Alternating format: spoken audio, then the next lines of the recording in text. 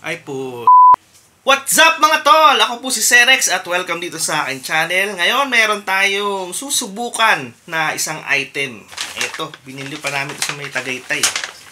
Ito ang Chanan! Civet Coffee. Sa mga di nakakaalam, ang Civet Coffee, ito ay isang brewed coffee bean na nanggaling pa sa, sa bundok. Kakaiba ang proseso nito dahil hindi ito yung basta-basta na giniling lang na pinato yung beans ng kape. Ito ang kape na galing sa puwet ng musang. Alam niyo ba yung musang? Parang si Rocket Raccoon sa Guardians of the Galaxy. Ang story nito, sa Indonesia, may mga hayop doon na ang tawag nila ay civet cat, parang pusa na fox. Tapos kinakain nila yung mga ano bunga ng ano mga cherry ng mga, ng kape. Ida-digest nila yun sa sa nila hanggang ilabas nila. Tapos pupulutin yun ng mga Indonesian. Patutuyuin, tapos sasalain, alisin yung mga fecal matters, gigilingin para maging civet coffee. Alam nyo ba kung magkano to? Ang presyo nito, yung ganito lang karami, ay 1,500 pesos. Siguro babayaran nila yung musang na umebak nito. Buksan muna natin to. So, umaamo yung aroma eh. Paano ba binubuksan?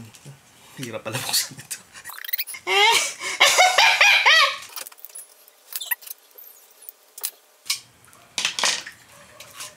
Eto na, amoy na natin to.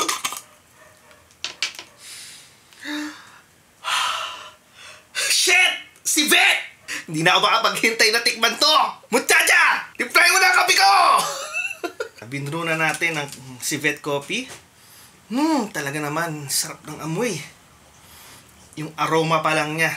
O, maamoy mo na nakaping kape talaga. Natural na natural. So, lagyan natin siya ng artificial sweetener. Hmm, iwasan natin ng sugar and creamer. Ba't naamoy ko yung creamer? sa bagay, adik ako sa creamer eh. Pinapapak ko to eh, yung mga nalilibre sa McDo. Ayan. Pindagan natin konti. May musang dito ah. yung musang ko gustong tumikim eh. Ito yung ano eh, galing to sa puwet niya eh. Put put! Gusto mo ng kape? Galing to sa mga tae ng kalahi mo eh. Usang gubat.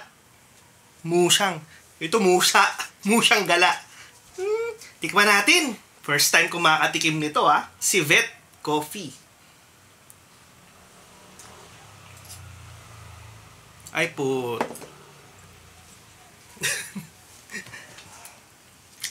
Iba! Ah, sarap! Grabe! Ngayon lang ako nakatikim ng ganitong klaseng kape. Talagang tamang-tama yung pagkamahal niya. tamang-tama sa presyo kasi kakaiba siya.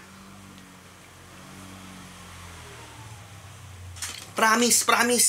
Wala akong gantong kape na natikman sa tanan buhay ko ngayon lang. Itong civet coffee talaga. Ang sarap! Parang naiiyak ako sa sarap. Grabe. Mm. Shit! Civet! Puwet! Woo! Ah, salamat. Ang sarap. Sana matikman nyo rin to. Sana kasama kita ngayon at nagkakape tayo pareho, no? At gusto ko lang sabihin na ang civet na to ay ito yung mga yung mga civet animals. Hindi ito yung kinukulong. Sila yung mga nagro-roam freely sa forest para piliin nila kung anong mga cherry ang kanilang kakainin. Yung mga civet farmer, kinukuha lang nila yon kung saan saan. So, hindi sila yung mga civet na fino-force para, ano mo yon kumain ng coffee. Sila yung mga malalayang civet. Mas natural, okay? So, maraming salamat mga tol! I-comment nyo lang sa baba kung ano ang masasabi nyo dito sa ating vlog. And don't forget to share ang video na to. Don't forget to subscribe din ha. Ako po si Serex. At kita-kits sa next video. Rections! Abi!